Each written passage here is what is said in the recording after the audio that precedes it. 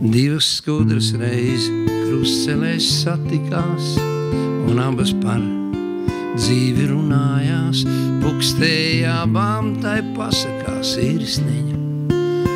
Man blakus ir mana māmiņa, miegs nāk bērniem it visos vecumos, man tie prieki ir kūkās un cepumos, bet nāk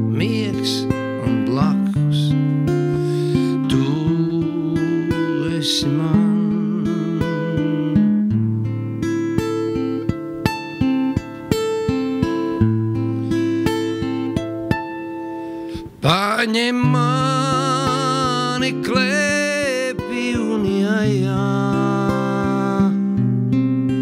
un es aizmigšu tavā tuvumā.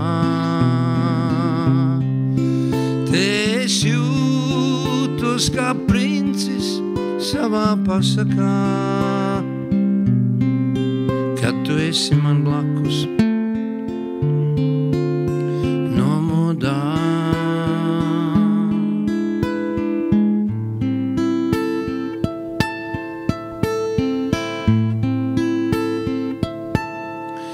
Citas skudras nāk, nāk jaunas pasakas, tur ir rūķi, tur stārķinas dāvanas, bet man blakus ir tava sirsniņa, nomodā pukstoša.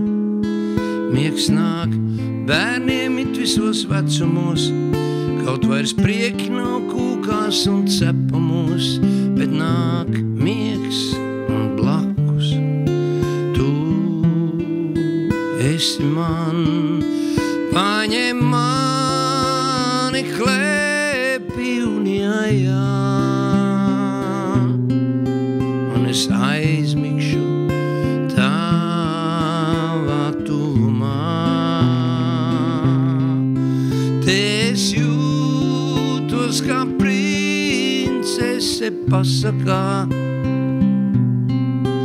kad tu esi man blakus.